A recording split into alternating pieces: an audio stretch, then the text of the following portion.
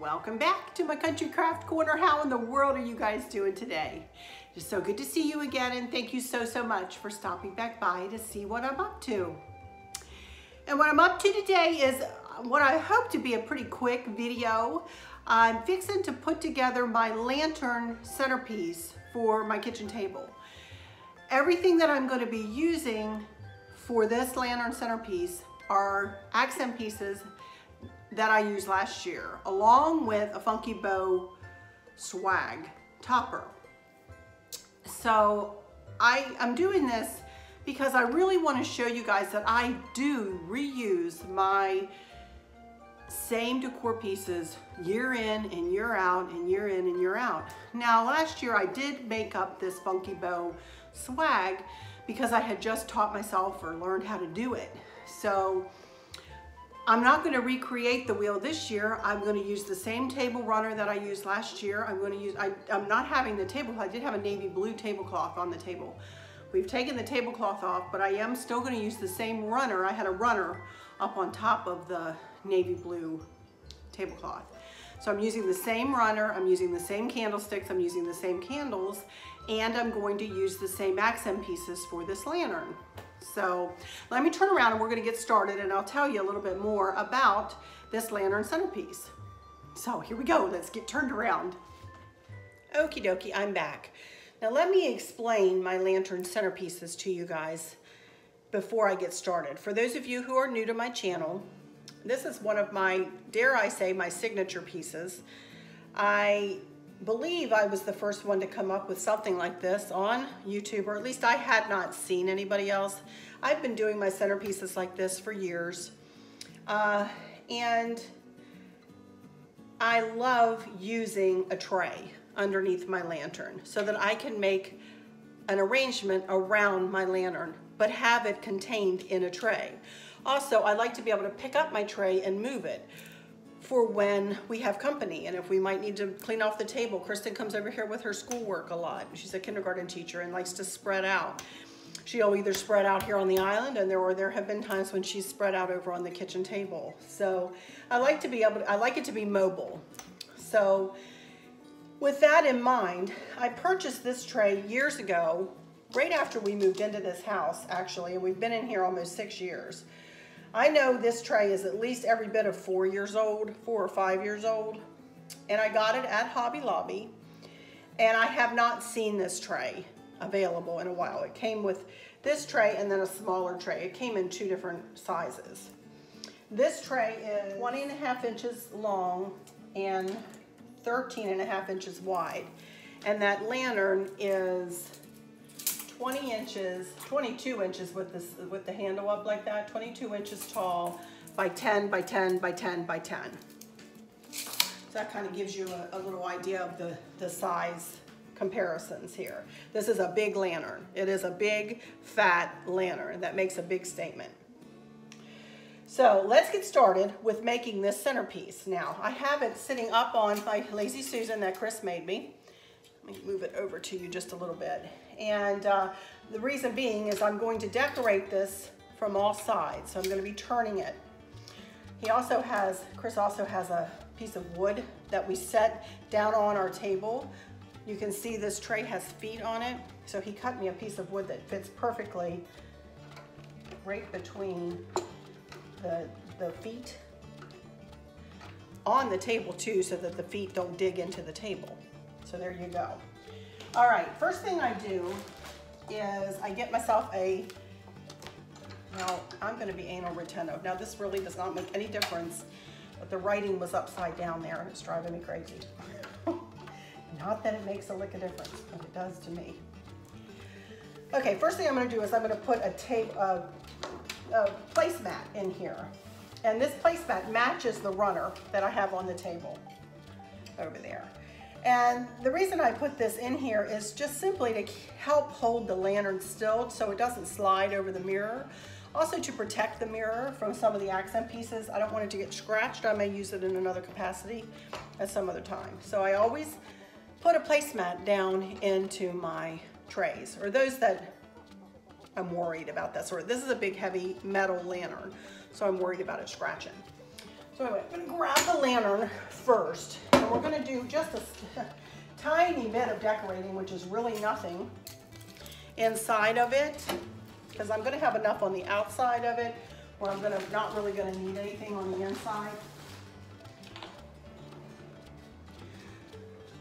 For my big lanterns, I always use a Luminara candle. This candle is nine by four, and it is Luminara, and it takes two D batteries, and you can turn it on and off with a remote.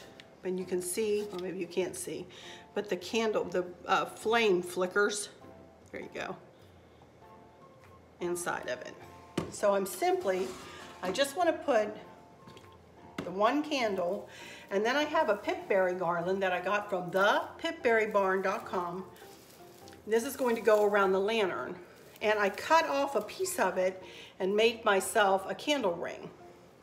This is going to go around the lantern. This is going to go around the candle inside the lantern. And I just tied it together with a, with a tie wrap there, you can see. And I'm just going to put it over this candle. And then I'm simply going to put the candle inside the lantern.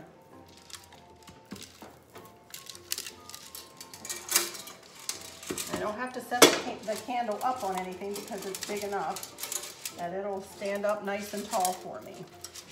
I do take a minute to kind of fluff up the pip berries.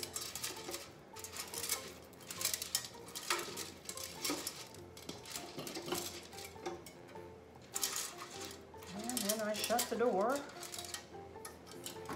And that is all I'm going to do with the inside. Just to highlight it just a little bit. Okay, now set the lantern inside the tray and pull this back down.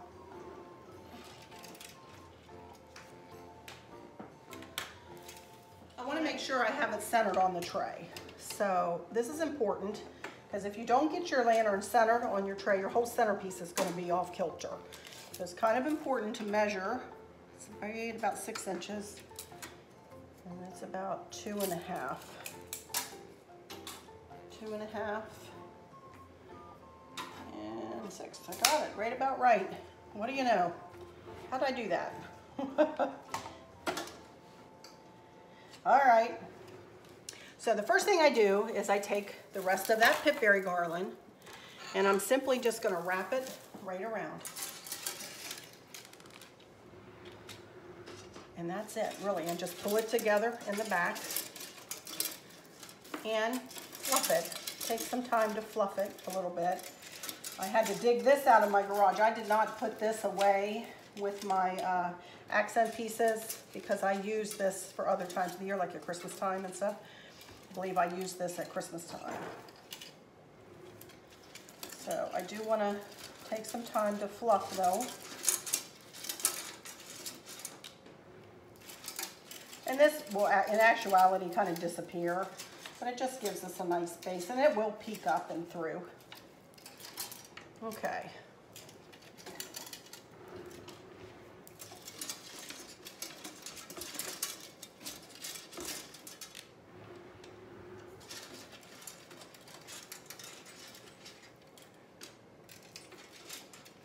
That's about got that. There we go. That looks pretty. You wouldn't have to do anything else to that, you guys, and that could look patriotic, just like that. You know, you wouldn't have to do anything else to it.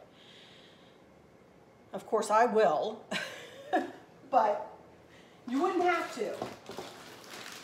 Okay, first thing, um, and I don't remember how I did this, and I promise you guys I did not look back to see what I did. So I'm going to do this the way I think I probably did it last year. Here I have some of uh, navy blue balls with cream stars, and then I have cream stars with navy blue, star, cream balls with navy blue stars. So I'm gonna guess that I had anchored the corners with these and put them in opposing corners. And I, I like to anchor my corners And I don't know why, don't ask me why. I really don't know, you guys. I just know that it makes my eyes happy when I have my corners anchored. And then I have four of these. These were meant to hold pictures, actually. Aren't they cute? Just little stars. I don't remember. Well, here. I got them from Hobby Lobby last year for $3.99. I'm sure I paid 30% off or 40% off, whatever they were offering. And I'm gonna say I probably had these, one in the front, one in the back, and one on either side.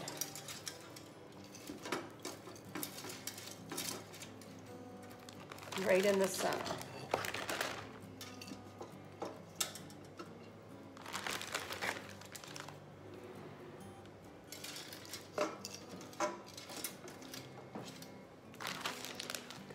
Empties that bag and part of that bag. I don't know about that stuff. Then I have some florals here. So let's fill in. I'm just gonna dump these out and see what I have here. Two, three, four, five, six, seven, eight white. Two, three, four, five, six blue, one, two, three, four, five, six, seven, red. Am I missing a red? Hmm. Let's see, I'm gonna guess, I have no idea how I did this last year, y'all. I promise y'all, I don't know. We're gonna just go for it. See what I come up with.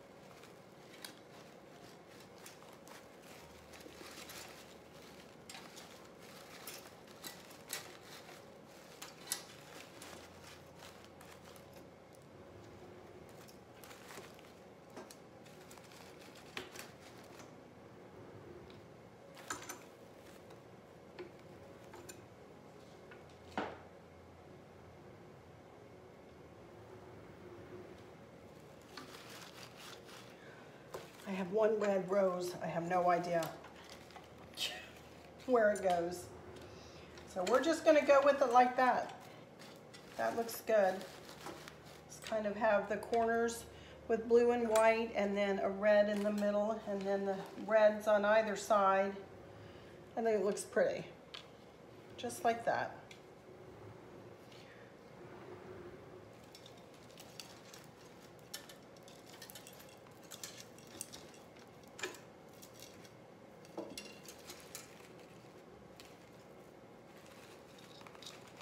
Okay. Next, So that empties those two. All I have left are these red tubs, which I'm sure I have around here. But let me get the bow topper on first. So let me move closer to you. Like I said, I made this last year and I will give you a link in the description. You can see I'm using pretty much the same pip berries. Only I have some that have a little bit of red in there. Hello. Can you see? Did I cover up the whole camera? There we go. Woo! All right, I'm gonna just tie this on. Let me come and get you. I'll bring you back over here so you can see what I do here. Actually, I'm gonna lay this down like this. I don't wanna see that in the back.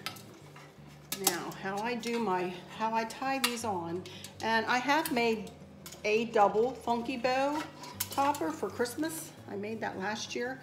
I don't usually do that though, to be honest. For one thing, it's not very cost effective. It's pretty expensive to do that. And for another thing, it's just, it's a lot on a lantern.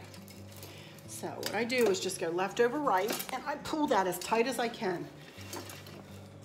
Really, really, really tight. And then make a loop and loop this around, twist it, just so the right side comes out the other side, and pull it tight. I almost did it just like I did last year, huh? Not quite though. Not too bad. And that is a square bow. Okay, let me turn this back around and put my camera away. Pull you guys up a little bit. Obviously, I need to do a little fluffing. So let me do that. Then I'm gonna show you one more thing I'm gonna do, two more things. I'm gonna add some of these to the bottom, and then I'm gonna add a set, add a set of these around into the, one will be right in the bow, and then we'll trail it down and put it in with the bottom portion of the lantern. Centerpiece. Let me do a little fluff and I'll be right back. All right, let me get these. I think I got these, I know I did. I got these from Joann's last year. And here's the battery pack. I don't even know. Oh, batteries are still working. That's a miracle. So I'm just gonna leave it alone. I'm gonna hide this battery pack down beside, usually right here in the front, and it kind of disappears. And now I'm just going to trail these around one time, I believe, and then I'm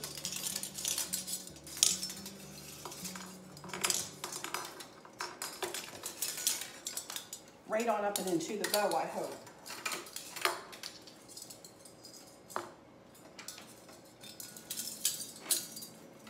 I'll fix them in a minute here. I want to make sure that I have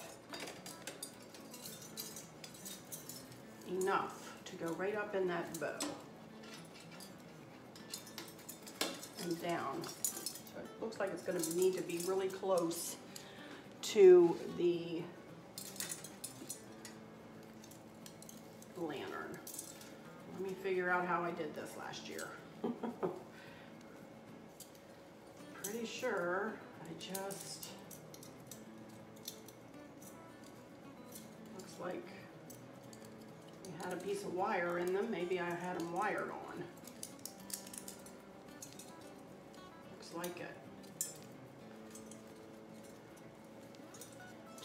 A wire stuck through the stars.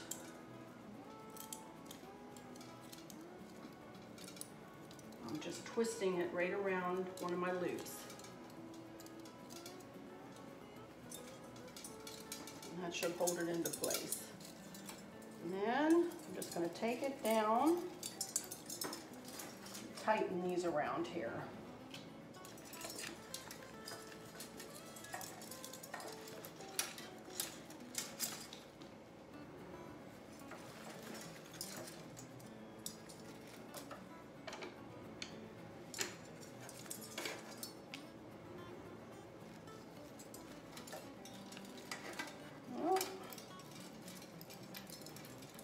All right. I'm gonna let that one kind of hang there. And I think I'll just tie this on with a tie wrap. See if I have a white one, hang on. Actually, I don't even think I need to tie it on there, y'all. I think it's gonna stay there. I'll just twist some of the, I'm not gonna tie that on. It's gonna stay right there, just like that.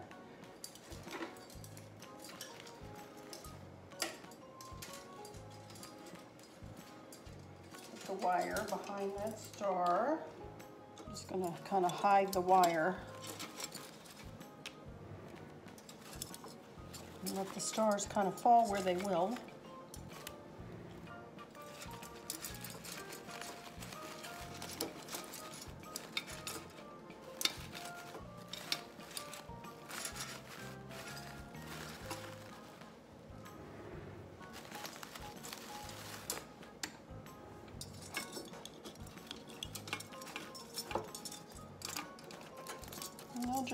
Out of there.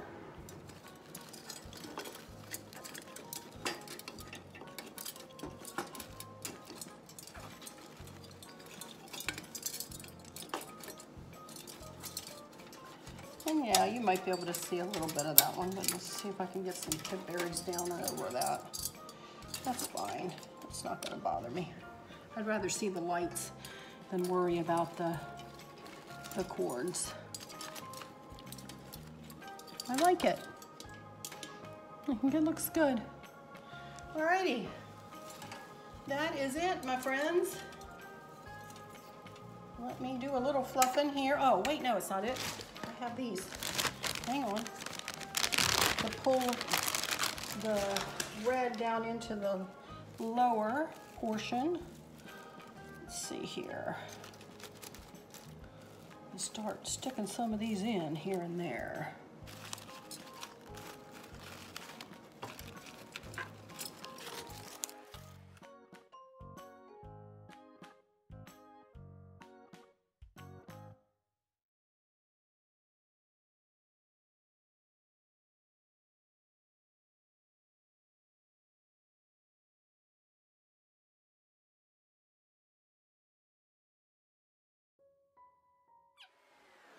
Think it looks good. All right, let me get this on the table. And well, first I'll do some final words and then I'll put it on the table and take a last video for y'all. Oh, here we go. It looks pretty. And I usually face the bow into the room because people come around the table this way and walk on in. So that's why I go ahead and put it out toward the room like that. Well, that bow held together beautifully and it was in a bin, you guys. It, was, wasn't even in a bag. I just had it laying on top of a bin, you know? And that's how I do my seasonal decor. I get asked that a lot. Where do I store my seasonal decor? Well, I store it in our basement. We thankfully have a basement. And I store it in bins and all the bins are labeled. And there are times when I use really big Ziploc bags to put like for instance my three tier tray. I put all of my three tier tray in a big three gallon Ziploc bag. I'll put all of these accent pieces as you saw you know in Ziploc bags I don't know why I didn't use all of this, but I didn't. Kitchen table lantern centerpiece. Looks like I had those stars and that pick inside. Well, I'm not worrying about that this year. But that's where I had that. I didn't read the label. I should have read the label. Kitchen table lantern centerpiece. I did not know that three gallon bags existed last year. That's why I have like three. This year I'll use a big bag and put everything in one, one big bag. So but anyway, I hope you guys enjoyed this little tutorial. It really wasn't me making anything other than just creating the bottom, you know, of the centerpiece again and adding the stars and, you know, tying this bow topper on, which again, check the description and I'll get you a link for where I made that. So last year. Probably look a little different in that one. Maybe, I don't know. I've lost some weight since then, I guess.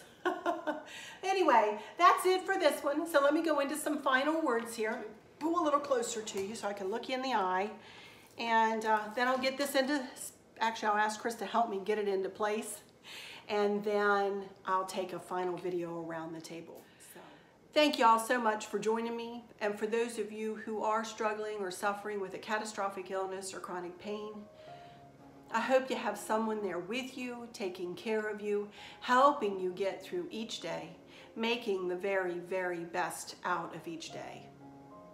I hope there's nothing weighing on your minds or your hearts, pulling your attention away from where you want it to be or from where it should be. To bits, to, I love y'all to bits, to bits, to bits, hugs all around, and I keep you in my thoughts and my prayers every single day.